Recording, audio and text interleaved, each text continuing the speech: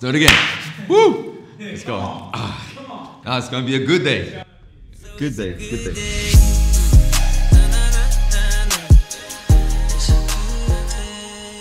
Hey, we are in the middle of a series in our church talking about intimacy with God. It's a it's a beautiful series. I think it's a fundamental series. To be honest, I think it's one of the best series we have ever done. And I've I've had the privilege of sharing a few messages within that series. And the last one was a message about intimacy with the Father. And we defined intimacy, we talked about intimacy. I gave I think I gave like five tips on how to keep your intimacy, the habit of confession and all of that. But today I want to talk about the thieves of intimacy. I think it's just as important for us to to understand how intimacy can be stolen from us, as well as we should understand what intimacy is. And I, I want to talk about three areas. I want to talk about the obvious, the not so obvious, and the oblivious. three words that are gonna bring something to your memory: the obvious, the not so obvious, and the oblivious. So the obvious thieves of your intimacy, I, I mean, 2024, we all know, you're probably watching this on the phone. So what are the thieves of intimacy in your life? Your phone is one of them. Like so, it brings so much distraction. You know, it's like our attention span's going down and we just, we want to, we want to learn something in three seconds, which is impossible. My hooks in my videos are terrible. I, I, I don't know how to keep it a person hooked on the video with three seconds. So phones are a distraction. The internet's a distraction. You know, back in the days, if you put in a paper together or you're studying, you had to go to the library. Do you know what the library is? You had to go to the library and you had to figure out what books were you gonna look for in order to do your research. Like you had to think about the books before you actually started the research.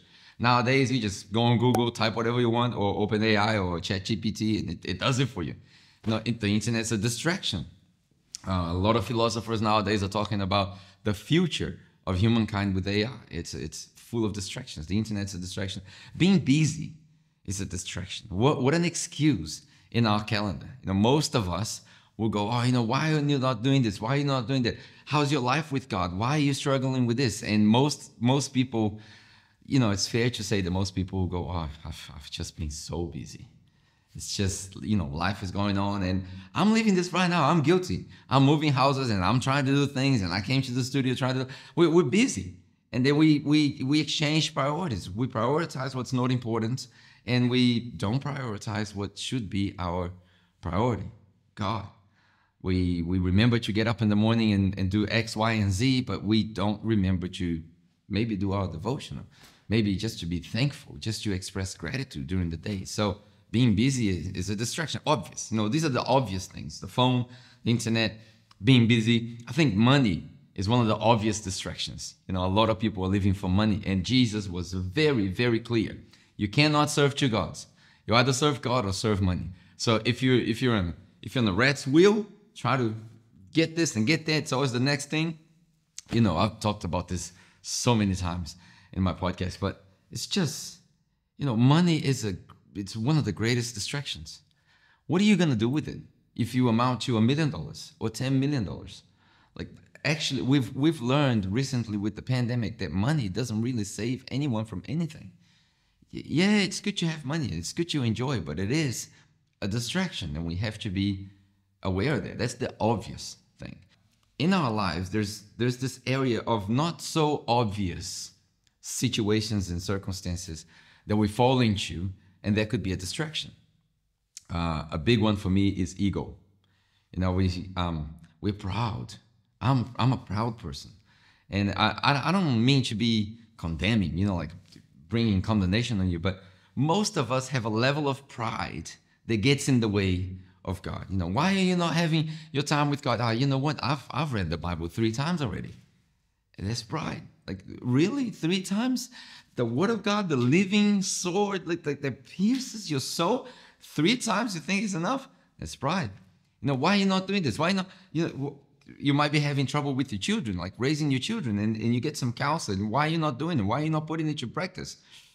Pride. You know, pride is a is a big thing. It's a, you know, we want to conquer. We we grew up with this idea. We want to conquer things. So uh, that's not so obvious. It's not so easy to identify. Another one is knowledge. I, I simply love this one. And I'll tell you why. I love books.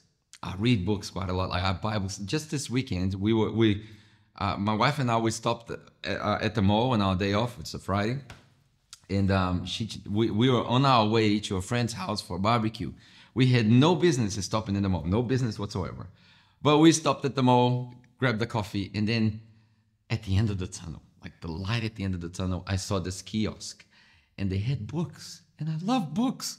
And I'm like, I don't know, something just drew me there. You know, like something dragged me there. And like with, before I knew it, I was like, I had six books under my arms, and I was like fifty dollars poor. And I was like, oh, I bought the books, and my wife was like, why'd you buy the books? We're moving, we don't have any place to store. And I was like, honey, there's always place for books in our house because I love knowledge.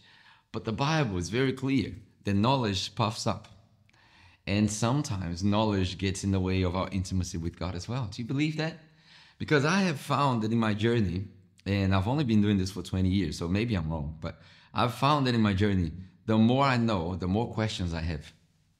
Like the philosophers used to say, um, I, I, I think, therefore I exist, that Descartes. Eh, but that starts with the questioning. Most people don't know that, but he was questioning himself. Like, I question things. And because I question, therefore I think, therefore I exist. So my existence, my being, my reason for being relies on my capacity to question. And I can only question if I absorb knowledge. Because if you don't have any knowledge, you don't even know what to ask. So the more you know, the more questions you have. And most people are sort of scared of questions because they think God will be offended with their questions. Uh, one of the big questions we ask God is why? Why did you allow this to happen to me, God? Why me? Um, and it's not new. This is a four, five thousand year problem. You know, the prophet Elijah had the same thing. He was in the cave, like, why me? I'm the only one. I was like, shut up, watch, go. Uh, so it's just like it's not new, but we, you know, knowledge gets in our way, and um, I think there is a big difference between knowledge and wisdom. And when you read the book of Proverbs, for example, Solomon says, seek wisdom. Seek knowledge as well, because that's the first step. But wisdom shouts from the marketplace. So, what, what's wisdom? In, in, practical terms, in simple terms, I think I could say that wisdom is knowledge put into practice. But you can only put your practice if you know what you do with it. It's like the manual. You got to read the manual in order to assemble whatever you, you want to assemble. So, knowledge is not so obvious because it's good. Like we, we want people with knowledge. We want people who can have a good conversation, who can teach us, who can instruct us.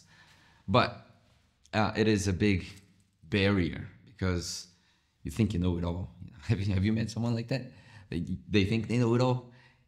It's annoying, isn't it? It's, it's a pain in the it's a pain in the neck, for lack of a better word. You know, it's just like ah, that person thinks they know it all, and they might do. Well, fair enough. Okay, fair game. They might do. They might know it all, but it's just annoying to hang out with people like that. So ego is a big one knowledge is a big one and i think one that's not so obvious but it's like it shows up in every area of our lives.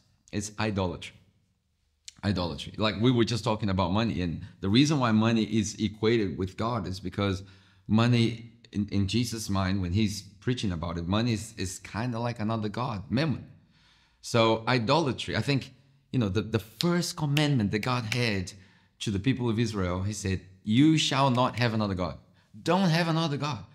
And, and I, most people miss on it. And if my interpretation is wrong, I mean, you're welcome to go and do your research and talk to people, but this is how I see it today. When God says, You shall not have another God, and you shall not have another God, and you shall not make any images of God, I think there are two reasons that are not so obvious that that's why they fit into this category. Um, which is, first of all, you shall not have another God, because God doesn't want to be the center you know, we sing songs like, oh, Jesus be the center of it all. I don't think Jesus wants to be the center because our life is not supposed to be a circle where Jesus is in the center, but surrounding, there are so many other gods that we just like every now and again we go there. And I don't think Jesus wants to be the first either. Because people go like, oh, you know, he's the first. He's my my no, he doesn't want to be the first because he doesn't want any seconds. Like God does not share his glory with anyone else. You have to understand that. So it's not like I've well, I'll worship God first and then I'll like a little bit of this God and that other God. No, no, he doesn't want that.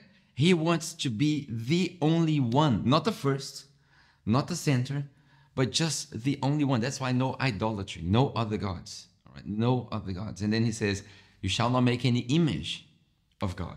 and, and why the image? You know, obviously the people of Israel, they came from the from this background where they, you know, they had pagan gods and they had images, and we we, we can understand it because we have knowledge today. We have the Bible, we can read, we have hindsight. But for them, I think what God was trying to hint on was you can't make any image of me because you can't understand me. You, you will never know who I am. It's like if, if I can understand God, I'll bring my understanding of God down to earth and then I'll make this little idol so I can bow down before this idol, which is dead. There's no life in that idol, but I'll just bow down because it's a reference point. God's not a reference point. You know what I mean? As, as a matter of fact, we, we have separated God and us. And I think the idea that we have missed out completely is that God is not somewhere that you go. We find ourselves in God. That's why when you read the New Testament, in most of the places, you will see that we have we find our lives, our life in Jesus. So if you're in Christ, you're a new creation. God dwells in you. So it's a it's a two-way thing. And it's like God is everywhere, everything is God, and we just find ourselves in there. That changes everything. Because then I can't make an idol of something that is beyond any comprehension. I can't. I can't. Uh, we, we live in this world where we try to make God our image when in, in reality, He made us His image. So if there is any little idol being built, we, we are the little idols. but God, like God cannot be made into an image. So I want to encourage you. You know, there's the obvious your phone, the internet, all of that. That's that's obvious. Like you're mature, you you you way past that. And then there's not so obvious. We all get caught up in that not so obvious thing. The ego, um, our knowledge. There's so many other things, but idolatry. And then there's the oblivious. What's what's oblivious? When you say someone it's oblivious to such a thing, it's like they can't even see. Have you have you ever heard that expression? Is um, something is hidden in plain sight? Have you ever heard that expression? that the, the point is this most of us are oblivious to the reality of God. We live life as if God is not here. And we we think we're gonna face God at some point, but not now, because now is you know in the present, God's not here. Like this, this is all me. And that's the oblivion So I wanted to close this message with a passage, which is Philippians chapter 3. By the way, I love Philippians. Like if, if you haven't read Philippians yet, like Philippians is amazing, amazing. But I want to read uh, chapter three, around like verse four or something, and then we'll, we'll read the whole chapter. Uh, I wish I had my paper Bible with me, but um, I can give you some ideas. But it's a beautiful thing. But I, I need you to just stay with me because I know, you know, that's why it's oblivious. The obvious, your phone, all that, it's a distraction. And at this point of the video, you're probably like, oh, turn off Philippians. I already know. You, you want to move on. Don't. Don't, because this is what we are oblivious to. It's hidden in plain sight. It's right under our nose, and we forget it. So the main message is not what I just shared with you, the obvious and not so obvious, but the main message is right here. This is what this is what brings power. Everything else is just knowledge, but this is power. So I, I want to read this with you, uh, Philippians chapter three, and we'll go. Um, how about we go verse uh, five? let's read the whole thing. Right? Let's just, let's just read the whole thing. Verse one. Finally, my brothers, rejoice in the Lord. Like he's concluding the letter. Rejoice in the Lord. To write the same things to you is no trouble to me, and it's safe for you. So Paul is saying, look, I, I, I wanna I wanna encourage you to rejoice in the Lord at all times. This is no trouble for me. I'll write it again and again and again, over and over, because this is this is the point. Look out for the dogs. Look out for the bad people around you. Look out for the evildoers. Look out for those who mutilate the flesh. He's talking about people who are bringing these weird ideas into the church. For we are the circumcision. So this is how Paul identifies himself. Like we're, we're the Christian people. We're the followers of the way. We we have seen and met and faced Jesus face to face. So we're, we're not those people. We are the circumcision who worship by the Spirit of God and glory in Christ Jesus and put no confidence in the flesh. So remember, we're talking about ego, no confidence in the flesh. Most people are oblivious to this. That's why I want you to get. No confidence in the flesh. Though I myself have reason for confidence in the flesh also. If anyone else thinks that he has reason for confidence in the flesh, I have more. So this is Paul saying, you know what? You want to talk about skills? I got the skills. You want to talk about basketball? MJ's got nothing on me. You want to talk about NFL? Patrick Mahomes got nothing on me. You want to talk about civil rights movement? Martin Luther King has got nothing on me. I got the whole thing. Like I, am I'm, I'm the man. This is Paul. Like if, if, if we are supposed to boast, I'm the man. So here's the deal. I'm circumcised in the eighth day. Big deal for the Jewish people. Of the people of Israel, of the tribe of Benjamin, I'm a Hebrew of Hebrews. As to the law, I'm a Pharisee. As to zeal, I'm a persecutor of the church. As to righteousness under the law, I'm blameless. Look, man, you gotta be bold to say something like this. As to the law, I'm blameless. Because when Paul wrote the letter to Romans, he said, No one is good. No one obeys the law. No one will be saved by accomplishing or fulfilling the law. And Paul is saying, You know what? According to the law, I'm blameless. No one can find any blame, any shame, any stain on my life. And I'm like, ooh, that's that's got that's heavy. That's heavy. And then he goes, um, blameless. But whatever gain I had, this is the beautiful part. whatever gain I had, you know, being blameless under the law, being a Pharisee, whatever gain I had, I counted as loss for the sake of Christ. None of the things I just showed you guys is worth nothing. This, this is this is it. Indeed, I count everything as lost because of the surpassing worth of knowing Christ Jesus my Lord. For his sake, I have suffered the loss of all things and count them all as rubbish, in order that I might gain, I may gain Christ and be found in him. That's what I was telling you about. In him. Paul had this understanding. Paul wasn't going anywhere. He was he was just trying to find himself in him, that I might be found in him, not having a righteousness of my own that comes from the law, but that which comes through faith in Christ, the righteousness from God that depends on faith, that I may know him and the power of his resurrection and share his sufferings, become like him in his death, that by any means possible, I by any means possible, I may attain the resurrection from the dead. So here's Paul saying, Look, I got I, I got a goal. I got an end goal in mind. I want to attain the resurrection of the dead. I, I want to attain the resurrection from the dead. I want to know Christ. That's all I want to know. Everything I have is rubbish. Everything I've accomplished is rubbish. And then he keeps going. Not that I have obtained this or I'm already perfect, but I press on. This is my favorite part. I press on to make it my own because Christ Jesus had made his own. Brothers, I don't consider that I've made it my own. You see humility coming through? Like there's no ego here. He he boasted first that you show people, look, I could if I wanted to, but I, I, I want to be humble here.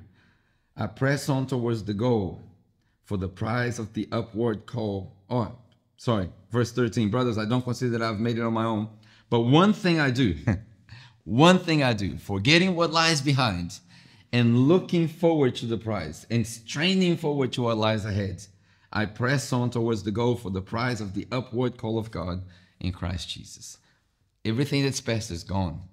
I, I, I don't look to those things. My accolades, my certificates, my diplomas, my knowledge, my accomplishments, my achievements, all rubbish. But I press on. Like I literally, I press on. Are you having a hard time? Press on. Is it difficult? Press on. Too many things happening at the same time? Press on. Forget what's behind. Look forward to the prize of the upward call of Jesus Christ. That's that's that's Paul. This is like it's beautiful. Let those of us who are mature. this is this is. I mean, I, I, keep saying this is my favorite part. This, the whole thing is my favorite. But Paul is saying, look, let those who are mature think this way. I love this because people think that the goal of the gospel of Jesus Christ is to save people. No, the goal of the cross is to save you. Jesus died on the cross to pay for your sins and to swap places with you. So that saves you. You, you, you don't need the gospel, the story of Jesus for your salvation. That saves you. But the goal of the gospel is to bring you to maturity. That's the goal of the gospel. We, at the end of the day, God has given the prophets, the apostles, the teachers, the pastors, everyone to equip the church for the work of ministry so we can achieve the maturity of Jesus Christ. At the end of the day, we are looking to Jesus as our example. That's the goal of the gospel. And to mature people, mature people should think this way. Mature people should think, you know what? Everything I have is rubbish. I look to Jesus Christ. I'm like I could boast on my own things, but mm, let's just focus there. That's that's mature people thinking. And if anything you think otherwise, God will reveal to you also. That's the confidence that Paul had. Paul's, Paul's looking around and saying, you know what? I want to talk to mature people, but if you haven't matured yet, that's all right. God will reveal it to you. I don't, I don't have to push anything. Only let us hold true to what we have attained. Brothers, join in imitating me and keep your eyes on those who walk according to the example you have in us. That's I, I don't think this is arrogance. I think this is self-awareness. This is Paul saying, look, I could I, I could boast about the law. I would choose not to. I will I will strain ahead to to the prize of Jesus Christ, but imitate me. For many of whom I have often told you, and I'll tell you, even with tears. Like Paul is not happy that these people are making a mess in the church. Even with tears, walk as enemies of the cross of Christ. Their end is destruction. That doesn't bring any pleasure to anyone. Their God is their belly, and their glory in their shame with mind set on earthly things. Ego, idolatry, knowledge, busyness, money. As far as I'm concerned, this is all earthly things. This is none of this is eternal. None of this is gonna help you in any way, shape, or form to attain the crown of glory. But our citizenship is in heaven. and from it we await a savior, the Lord Jesus Christ. Now this is this is how Paul, this is how Paul lived. I mean, based on what we read. He's saying, you know what, my passport, it's not Australian, it's not Brazilian, it's not New Zealand. I've got them all. my passport, it's not that. My passport's from heaven. And I'm not waiting on an answer from the government. I'm not waiting on an answer to solve my problems from the prime minister. I'm not waiting on an answer from Donald Trump or Barack Obama or whoever's running. I'm not waiting on an answer from money. I'm not waiting on any of those things because all of the, all of those things are earthly. I'm waiting on my Savior from heaven. My life is hidden with Him, and we're all waiting on our Savior. That's how I live my life. So there is no center or no first. There's only one life, and I am that life with Christ Jesus. I'm waiting. That's it. My citizenship is in heaven. And then he finishes, and then he says, We wait, we await our Savior, the Lord Jesus Christ, who will transform your lowly body, your earthly things, your earthly mind, your lowly body to be like his glorious body by the power that enables him even to subject all things to himself. Therefore, my brothers, this is the first verse of chapter 4, and I'll finish here. Therefore, my brothers, whom I have love, uh, whom I love and long for, my joy and my crown. Like this is Paul talking to Philippians. Now, I, am not sure if, if we can say we have the same level of relationship. Probably not. But just presuming that you're watching this and you've you've come to this point and you're like, oh, this this is good, man. It's a good reminder. It's a good message. So I'm gonna say, you are my joy. You're my crown. Like I'm I'm I'm begging you, my joy and my crown. Stand firm in the Lord. The the whole stand firm in the Lord for me is in, in 21st century words, don't get distracted. Don't get distracted. Don't get focused on your money. Don't get focused on idolatry. Don't get focused on your ego. Don't get focused on just increasing your knowledge. Don't get distracted. But because th- th- this is my conclusion the devil doesn't need to convince you to become a Satanist, he just needs to distract you from the main thing. That's all he does. He's a master deceiver. You know how magicians do their tricks? the, the number one skill for magicians is distraction. They don't make things disappear. They distract your eyes while they do the trick. That's what the devil does. He distracts you. But we, followers of Jesus, followers of the way, we don't lose our focus. We keep looking forward. We keep looking to our crown. We keep pursuing our crown. We keep sanctifying ourselves. We keep pursuing the life of holiness because that is the end goal. And I hope this message has somehow inspired you to think, you know, we live in a world where the devil's trying to steal our intimacy with God at all times. And it is our job not, not to gain that intimacy, but to keep the intimacy. Because once you've been saved, He has come to live in you. He has made a dwelling in you. So if He has, there is no need for you to strive for a relationship. You already have a relationship. You just got to make sure you're focused on the right side of the relationship. and with that, my friend, I conclude. I hope you've enjoyed it, and if you if you want to know more, there's a bunch of links down in the description. Uh, you can you can leave your comment here. It's I really appreciate when you do because then we we know who we're talking to. But nonetheless, I appreciate you. You're my crown and my joy, and I hope you've enjoyed this. And I'll see you on the next video. God bless.